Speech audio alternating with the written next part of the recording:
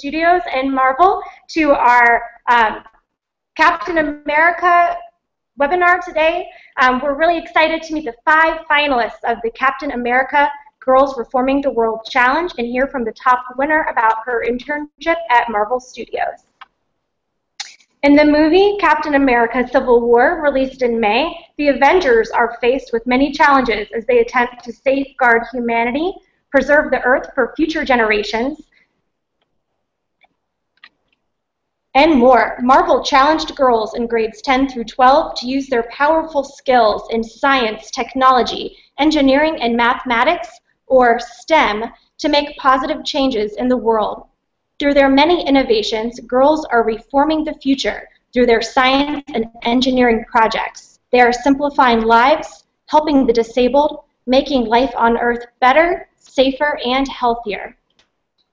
Over 1,000 girls submitted videos to the contest explaining their work, how it benefits humankind, and why they want to intern at Marvel Studios. In April, five amazing young scientists and engineers were picked as finalists. They were honored for their work by attending the red carpet premiere of the Captain America Civil War movie. Each received a $500 high-yield savings account from Synchrony Bank received a tour of Walt Disney Studios and Dolby Laboratories. You can visit www.captainamericacivil.warchallenge.com to learn more. In the end, one finalist was selected as the winner of a one-week internship at Marvel Studios. Today, we will hear from all five finalists, including the top winner, and they will talk about the science and engineering behind their projects, their experiences in California, and their advice for younger students to be successful in STEM fields. We are here to celebrate them and listen to their stories and advice as role models. We hope you had a chance to watch the trailer ahead of this webinar. If not, don't worry. The link is available on our Google Plus page.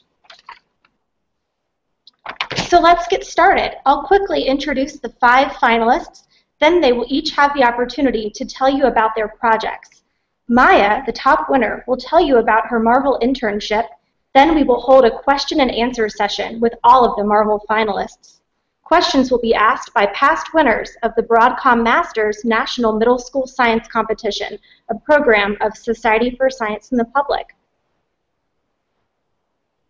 Without further ado, let's meet the Marvel finalists. Introducing Margaret Fleck from Emmaus, Pennsylvania. Next, Janie Kim from San Diego, California. Vivian King from Marlboro, New Jersey. Holly Reaping from Colorado Springs, Colorado. And Maya from West Sacramento, California. So let's get started. We have a few questions for Margaret. We'll get her on the screen.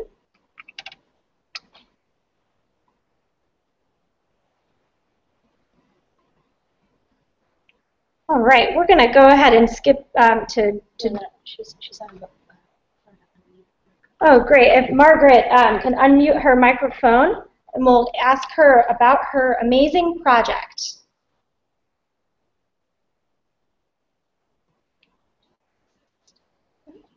All right, so we have Vivian on the screen. We'll go ahead and ask Vivian to tell us about her amazing project idea and how it makes a positive impact on the world. Hi guys, uh, so my name is Vivian, and my project um, was the one with solar thermal collectors. And basically, um, I merged, I made a solar thermal collector that was hybrid in design, so it could run uh, both air and water at the same time. And that's good because current solar thermal collectors can't do that. They can only run um, either air or water, and so you can't use them year round. So since you can use um, the hybrid solar thermal collector year round, you can uh, use it in all sorts of different climates with uh, even climates with seasons. So then um, if this design were used worldwide, then it could greatly reduce the carbon footprint of, um, I guess, residential areas. And um, so, wait, what was the next question? I'm sorry. Oh no, that's great. We were, it's fascinating to hear about your project and um, how it makes a big impact on the environment. Um, next, we want to hear a little bit about your experience as a Marvel finalist. Can you tell us what was the highlight of this experience for you? Oh, um, well, for me, there were two highlights. One, I guess the primary one was um, being able to go to LA and meet all sorts of different people from like all sorts of walks of life and getting to uh, hear their advice and um, I guess applying those seg- segments of advice to my own life. And um, the second uh, highlight for me was um, obviously like seeing the movie and meeting different people, and different actors. So yeah, that was pretty cool. That really, that is amazing. Absolutely. And Vivian, what is next for you? What are you working on? Um, for me, I would like to continue my research. Um, I actually am improving upon the solar thermal collectors this summer, and I also look forward to conducting more independent research, more like original research on my own, and um, as I go into college, where those kinds of opportunities would be more available. Very good. Well, congratulations. Um, you're doing amazing work, and we're really proud to know that you'll make a huge difference on our planet for sure. Um, so next, we're going to move to Janie. We'd love to hear from Janie about your project. Tell us about what you did.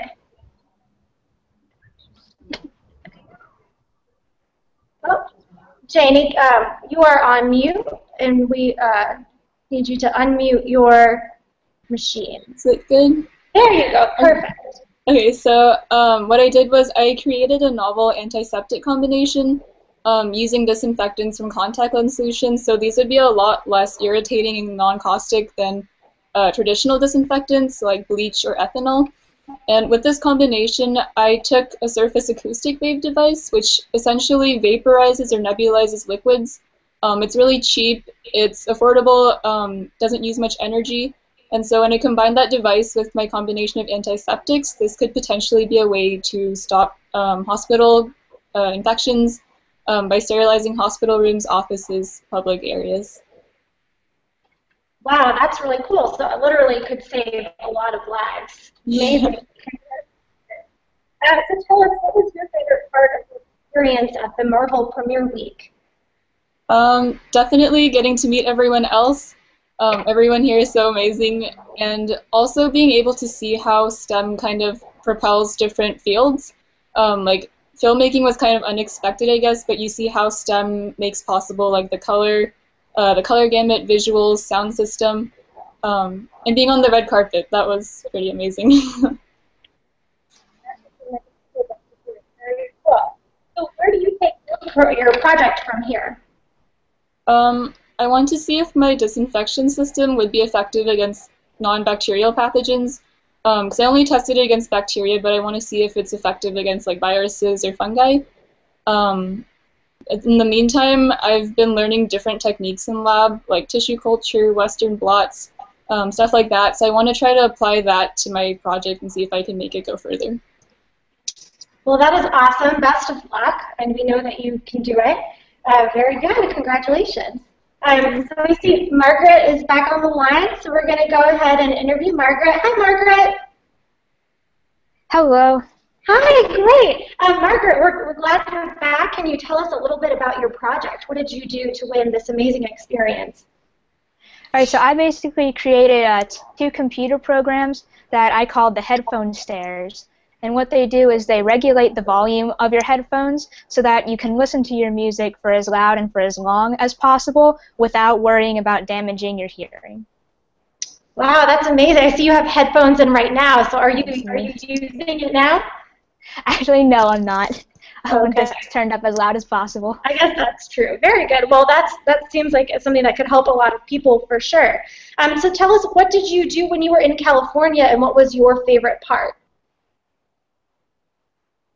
Hmm, in California, well, first of all, it was awesome to be able to like, meet all the finalists when I got there because I saw them in the video that Marvel put out, and like seeing what their projects were, and I just couldn't wait to meet all of them. So that was the first thing that happened. That was awesome. And then I guess just like the rest of them, seeing that premiere of the movie, uh, getting to see, like, first of all, how Dolby and all their technologies worked into the movie, and then meeting the movie stars and the actors too. That was everything was awesome.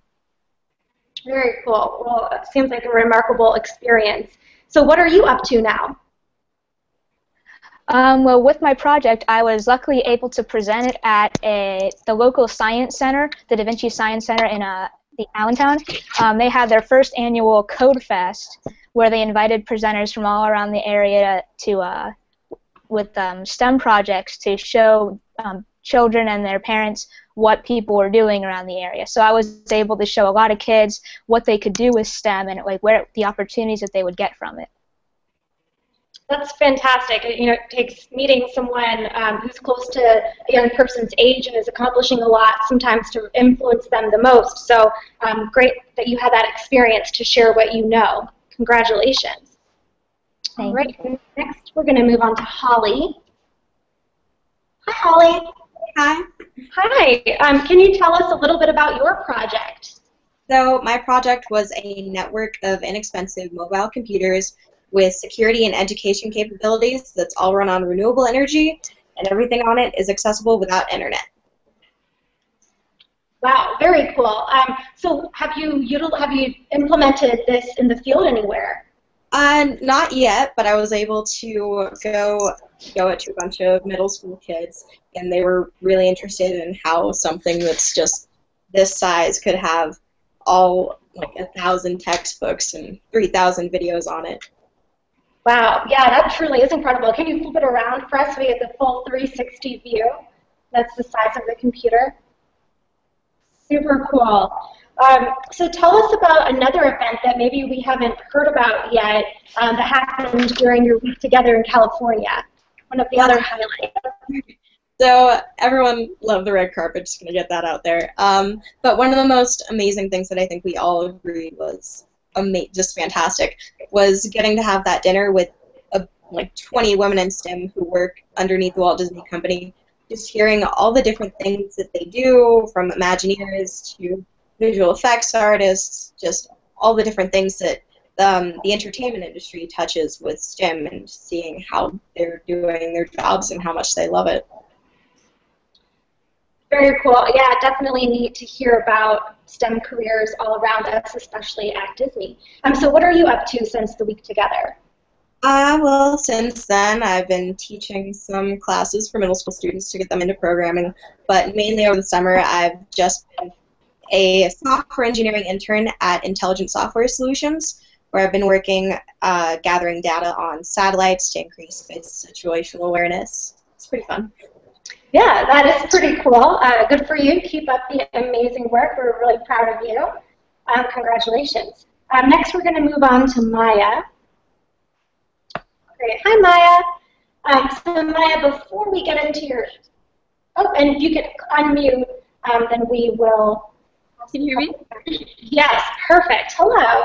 Um, so before we talk about your internship, everyone hear about your project. So my project was a robotic, a robot that replaces a guide dog for the visually impaired, because a guide dog usually costs around fifty thousand dollars, and that's for training, for matching it up with the right person, and just overall taking care of it. Um, my project only costs around six hundred dollars, so it's way it's better financial um, support for the people who really need those kind of um, who want to go through, through their daily lives, um, but they can't because they have a disability. Wow, that's incredible. Definitely will impact a lot of people. Um, so, how did you get the idea for your project? How I did got you the begin with your, building the robot? Um, I got the idea for building my project because I have three dogs myself, and I know how much it takes to take care of them, and it made me think about how much more work it would take if somebody had a disability, as visual impairment. So that's where it really all started, and that's where my design came out of. I wanted it to be portable and easy to take around, not too heavy, um, so that I could go to multiple parts of the world. Very cool. Um, so, what was your favorite part of the week in California? We know that you're the, the winner of the internship. We can't wait to hear about that.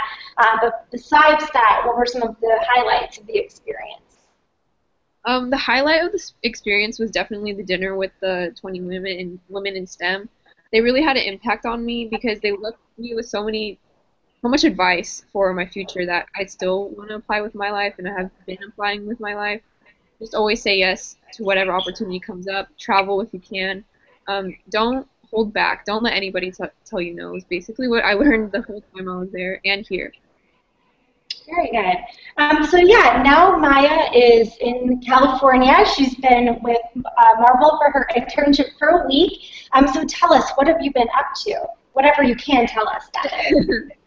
yes, I've been up to a lot of secret stuff. Um, so far, I've done everything that there is to do. Um, I spent so much time with Victoria shadowing her. She's amazing. I love her spirit. Um, I got to spend a day at Imagineering, which was my favorite day by far. Um, we went behind the scenes a lot. Um, we just, I got to see the family side of Marvel as well, and thinking about how it's a family here and not just a workplace. Very good. Um, have you learned anything unexpected since you started? Hold on. Victoria? Okay. um, okay. So if anybody didn't know who Victoria Alonso is, she, um, she's vice president. No, yeah, vice president for Marvel, and she's a woman, and she is amazing. She, everybody loves her here. Just ask anybody. Um, what I didn't expect to learn here so far was how many jobs there are in that are included in the film industry. So what I've learned is that the film industry is STEM. Um, STEM isn't just science, technology, engineering, and math. It's connected in so many things. Art, it, it's connected in history, everything. It's just connected in everything. It's always good to learn something because it's going to end up coming back to you later in life. Very, very true words. Um, so what has been your favorite part so far? Definitely the Imagineering. Definitely. Yes. And for people who may not know, um, what is Imagineering? Imagineering is the, the practice of engineering for Walt Disney, and they engineer all of the parks, they engineer the hotels, they're behind the design of everything. They're the reason why the parks are where they are today and why everybody keeps going. They're the reason for the attractions and for the feeling and the entertainment in the parks. Very cool. And I think anyone could see why that might be one of your favorite days for sure. Um, so Maya, what are your future plans? What do you want to do um, when you're a little bit older? Um, they're not set in stone, but I would like to become an engineer myself. I'm not sure in what yet, but it's out there. It's just about getting yourself out there and learning. So you, you never know what happens. Yeah, absolutely. Um, so how is this experience at Marvel supporting your future goals? This experience at Marvel really helped my future goals because I've really only worked in robotics so far, and my main reason I wanted to do this internship was because it would expose me to so many different jobs, and it has. There's been people who majored in art or people who majored in science, and they're all working together to make one big product that everybody loves. So it's shown me a different pathways that I can take and still end up somewhere I love. Very cool. Yeah, absolutely. It, it says a lot about um, just kind of going where life takes you, doesn't it? Yes, it does. Um, anything else that you want to share with the audience about your experience at Marvel? I want to share that what I've learned so far is that Marvel likes to create an experience and a feeling. So that's really important to me because most companies, I feel like being here, I felt a real family um, vibe from them. And other companies, I, I feel like you would not feel that as much of a workplace. And I think it's really important to have in in something you love. So if you're working somewhere, if it doesn't feel right, you should just leave. That's what Victoria told told me, and I I really take that advice seriously. Very good, very good advice from some very cool people, for sure. Uh, well, thank you for sharing this experience with us, Maya. I think uh, everyone really enjoyed hearing about that, and it no doubt will impact you positively in the future. So congratulations. We have a little time left there, too, so enjoy it. Yes. Yes, very good. Um, so I'm sure that many of our listeners today are have, are eager to hear from all five of these amazing role models to hear what advice they have for um, scientists and engineers of the next generation.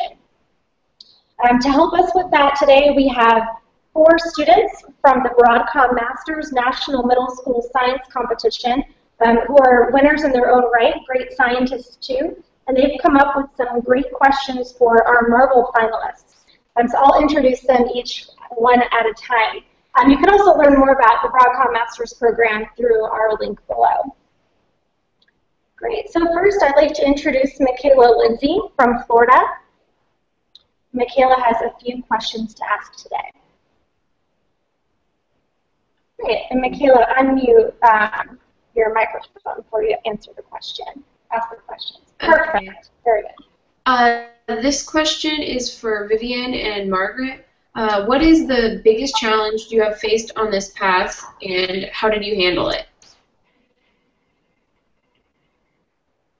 Um, hey, um, so I guess I'm answering that question first. Um, for me, my biggest challenge was while I was making um, my solar thermal collectors, and um, for me, it was just kind of hard to find all the time I wanted and all the resources I needed to kind of create all that I wanted to create. So um, I kind of had to um, set limits for myself and set budgets in terms of how much time I had to spend and um, what kind of resources would be actually available for me. So, for instance, the solar thermal collectors I actually built were um, built with time constraints and with material constraints in mind, and all the materials I used were cost effective to some degree. And um, yeah, so I think anything you do, you have to keep in mind that you do have finite time and resources, and you have to work um, according to those limits. Very good. Um, and we'll let Margaret answer this question as well next. Well, I think that the biggest challenge is taking the first step and actually deciding that you're going to do something because it's so easy to just think about like, hmm, I'd like to do that, or that sounds cool, or I want to make a change with this, but actually deciding, like, okay, I'm going to go ahead and devote time and effort to this, that that's the hardest part. Right. And Michaela has another question. Like okay, so this question is for Janie, Holly, and Mia, or Maya. Um, how has your experience as a Captain America finalist influenced you? Um, so I guess as a Captain America finalist, being able to see and learn about all the STEM-based behind-the-scenes of filmmaking was really eye-opening, um, like the sound systems and visuals, because science finds its way into so many different things. Um, and after coming back from LA, I think I've been more curious to know how STEM plays a role in even everyday, um, kind of like boring things too, how it like influences them. Next, we'll hear from Holly. You can unmute your microphone for us, Holly. Very good. Okay, so for me, I think it was just a really big confidence booster. You know, I'm just not that afraid to put myself and my projects out there anymore. Um, definitely learned a lot while I was out there. It's just interesting how now that we've kind of got this platform seen as finalists, we can just use our voices to get some action going. Awesome. Um, next, we'll go on to Maya. And unmute your microphone. Um, being a Captain America finalist has really influenced me because everybody here wanted to share their projects with us, and after we shared ours, and it it really made me want to go back home and share my project with everybody in my community, showing them that STEM is an option for them, for anybody who really wants to learn, and it's not that hard to learn. You just got to be curious. Very, very good advice. Thank you, uh, Maya, and thank you, Michaela. Great. Um, our next Broadcom Master is from Pennsylvania, Shreya Suresh, and she has um, Pennsylvania.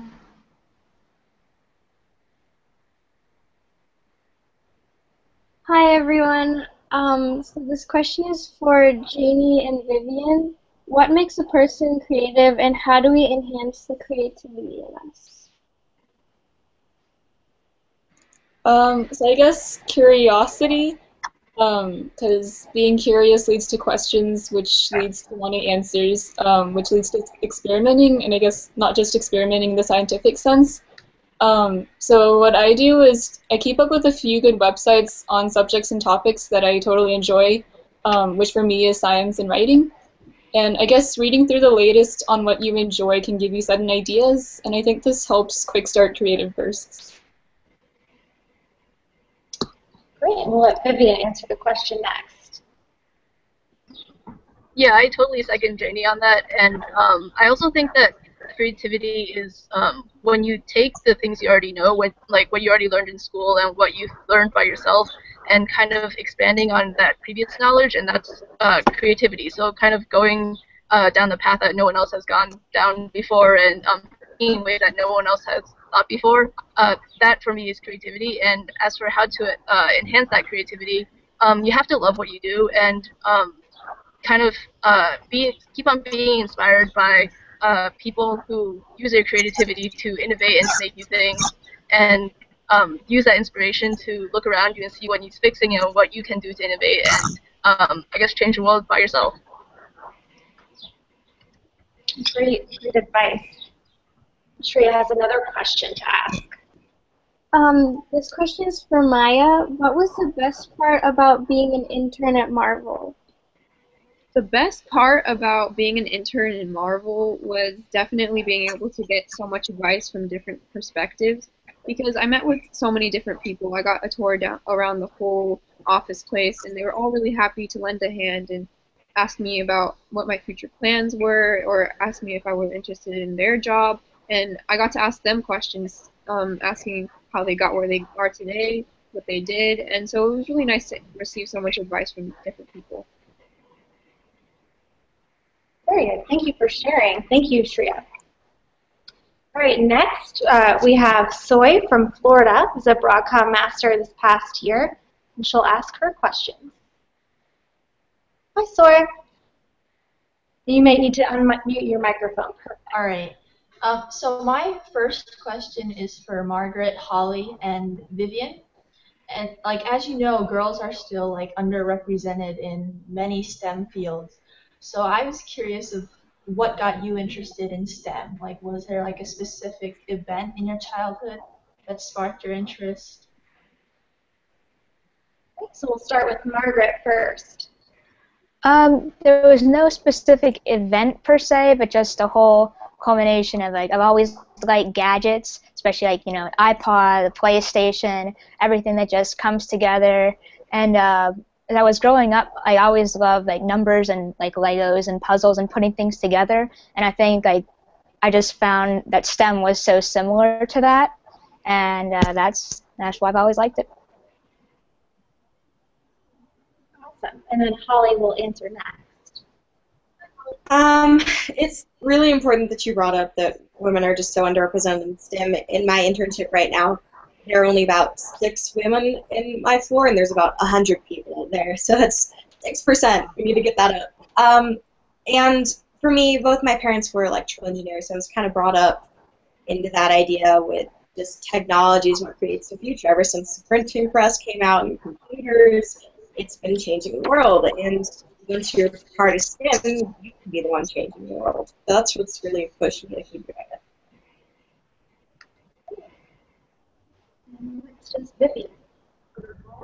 Um, so I'm sort of like like Margaret in the sense that um, I never really had a single event that pushed me into STEM. And when I was a kid, I played with like all sorts of toys. I was obsessed with Barbies, and um, I didn't play with Legos, but I did play with the um, I don't know what they're called, like the little log things that you stack and build houses out of. So I was really obsessed with those, and I guess that sort of pushed me to STEM a little bit. But um, yeah, when I grew up, I was also like right now I'm also interested in lots of things besides STEM, and STEM is just one of like my many passions. And I've been privileged to go to a school where people encourage me to uh, pursue STEM, and um, there's actually a pretty equal balance of the girls and guys interested in STEM at my school. But um, I do understand that there is a need for women to have greater representation in STEM, and um, yeah, so I guess the focus for future like getting people into STEM should probably be to kind of um, encourage both females and males equally to pursue what they actually like to do. Very good. All right, and my um, second question is for Janie and Maya. Uh, I'm curious of what you guys learned about yourself while doing this project. Um, so from doing my project, I guess I've learned that if I'm really interested in something, I go all out. Um, for my disinfectant nebulizer project, I got really absorbed in it, um, while I was experimenting, my laptop was like a semi-organized mess. I had like 15 desktops, each with a browser window, um, each with like 15 tabs, all open to articles, reviews, papers, um, whatnot. So, yeah, I guess I get very absorbed, and through this project, I realized how to channel into that. For me, I learned that I have to take my time. A lot. Uh, once I get an idea in my head, I want to finish it. Maybe that I will problem as it won't work right or the right sensors. Take some time. Great.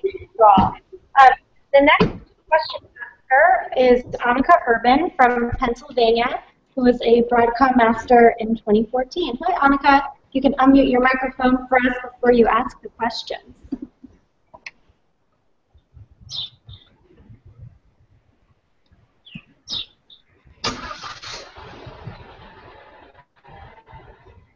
All right. Um, well, then we actually have time for some other questions. If Michaela wants to hop back in and ask another question for our Marvel finalists.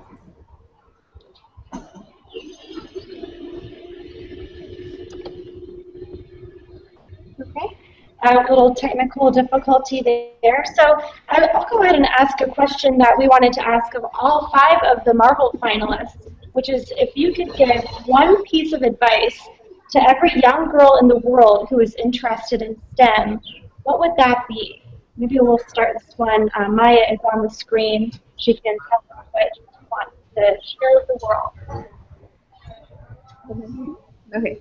Um, one piece of advice I would give to all the girls of the world and in them is to never say no. If you want to learn something, go after it. Don't let anybody tell you otherwise. If it's your life, you can't let anybody else make you do what you don't want to do if you want to go pursue something, pursue it. The only bad thing that could happen is somebody says no, but you can still keep fighting for it because it's your life, it's your dream. Don't let anybody keep you away from it. Great advice. Thank you, Maya. Um, how about Vivian? Why don't you tell us your advice for all of the girls? Um, mine is pretty similar to Maya's. Um, I think do what you love to do, whether it's STEM or some other subject, and if you do love to do it, you will fight to do it no matter what else, uh, what someone else tells you to do, and you'll keep on working to become better at it no matter what happens, and I guess strive to become the best you can be, and whether that's STEM or some other field, then you will find success. Great, thank you so much, Vivian. Um, next, we'll ask we'll ask Holly to ask this question, and then we'll loop back to Annika. Seems to be back, and so she can ask a question after that. So Holly, why don't you um, tell us what is your advice? Uh, my advice would definitely have to be don't compare yourself to anyone else. Just focus on what makes you unique. If you just start comparing yourself to people in your life, you're just going to get way too stressed out. It's not worth it because what you're doing is enough. Just focus on your skills and what you have to offer the world. Great. Thanks, Holly. Great. Um, and Janie, what is your advice?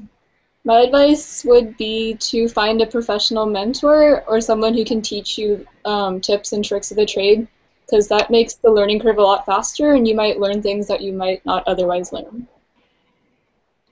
Awesome. Very good advice and Margaret.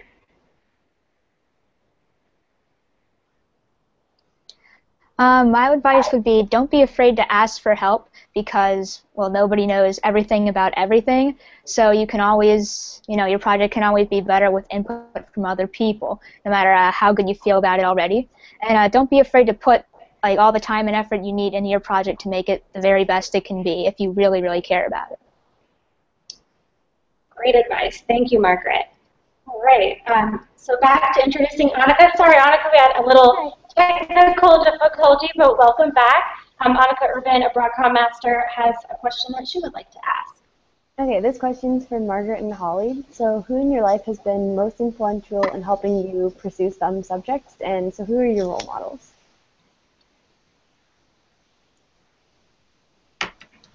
Um, well, in school, my teachers were always uh, helping me with everything I needed with math or science. Like whether I was a, a, since I'm a girl, it didn't matter to them at all. And then outside of school, my parents are always guiding and supporting me, so I have the best of in school and out school.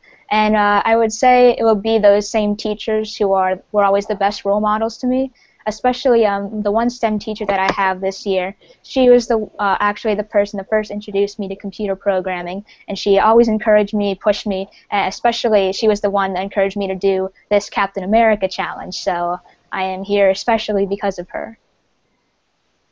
Very cool. Great. Um, for me, it's definitely parents, family. Thank you guys so much for supporting me and pushing me to do the best I can. Uh, even though my school doesn't really offer any computer science classes at all, my parents started pushing me, hey, maybe you should go take some of these classes at community college. And without that, I wouldn't be here today. But even if you do have those people pushing you, you you're the only person who can motivate yourself, so you have to want it. But with people who are just looking out for you, you need that in your life. And then you do need some people to look up to, like I look up to like Rosa Parks, Michelle Obama, Malala, amazing people who go for what they want without any hesitation. And I'm so grateful that I have people like that in my family to just look up to. Um, Annika, do you want to ask another question? I know I stole your, your first one there, uh, but feel free to ask another. Okay, so how about um, Janie and Vivian? Um, how what was the inspiration for your science research project? Oh, um, so for me, I've always been interested in solar energy in particular because um, I've always been interested in uh, keeping the efficiency of what gives us power as high as possible.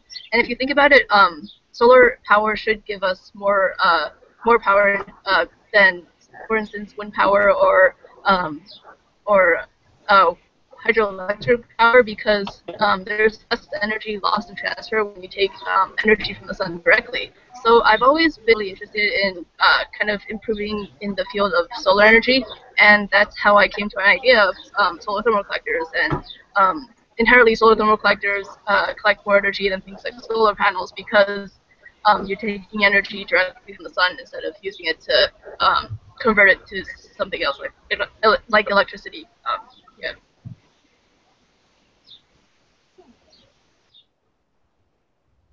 And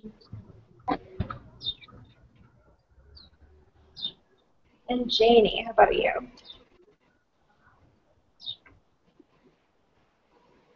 Oh, Gina, you're on. There you go. Perfect.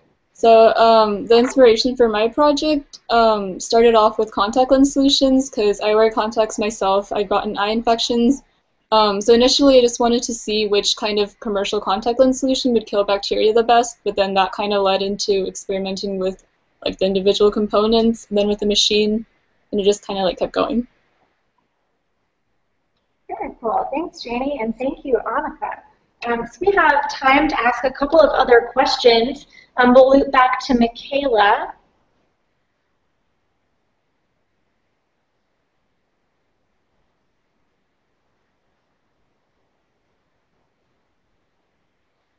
Yeah, hi, Michaela.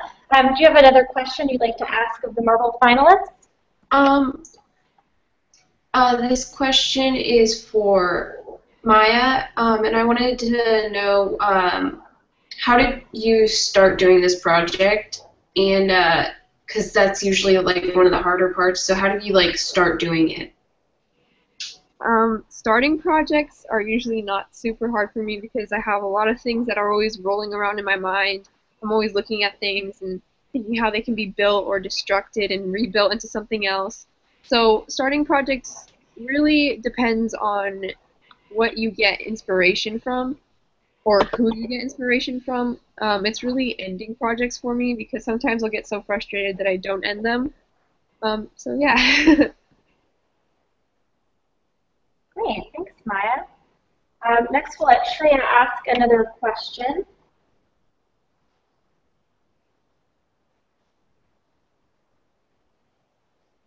Hi, Shreya. I might need to unmute so we can hear your question and who you'd like to ask it to. Um, this question is for Margaret, and I was wondering what your goals for the future are and how you might extend on, on your own project that you have now.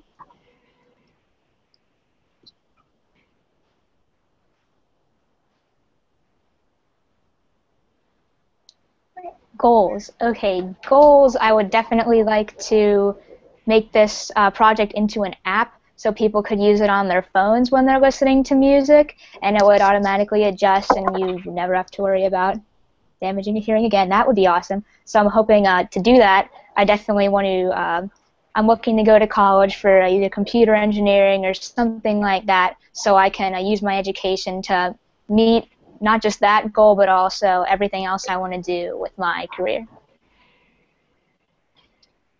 Awesome. Very good. Thanks, Margaret.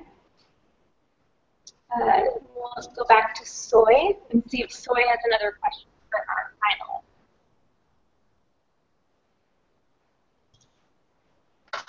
Yeah, hi. I have a question um, for Holly. Um, I'm, how do you feel that your project could have global impact?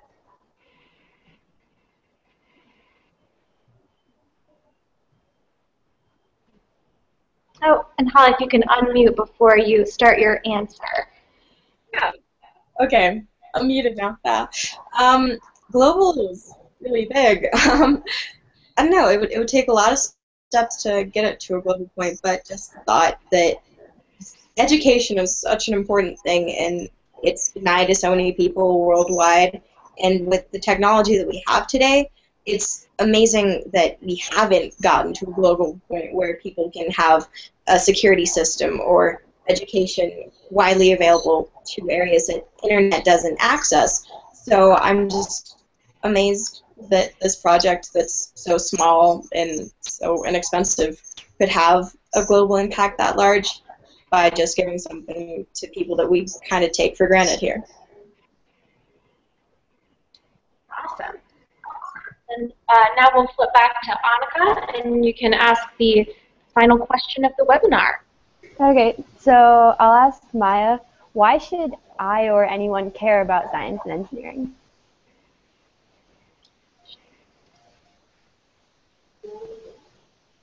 Oh. Okay. Everyone should care about STEM, no matter who you are, because STEM is connected with everything. You may not think it, but it is. Our future is technology. We're everywhere we're heading. We're heading with computers or print printers or VR. Anything you do is with technology. Nothing hasn't been touched by STEM so far. So everywhere you go, it's going to be pushed by STEM. Excellent. We could not agree more with you, Maya, about that at all. Um, so first, I'd like to thank Janie, Margaret, Holly, Vivian, and Maya for sharing your stories with us. Um, it was amazing to hear from you, and we can't wait to see where you go next. Um, it's been really inspiring to hear from these great role models who are using their STEM skills to make the world a much better place for all of us. Um, so just like the Marvel finalists and like the Avengers, everyone who's tuned into this webinar has the ability to do the same through STEM.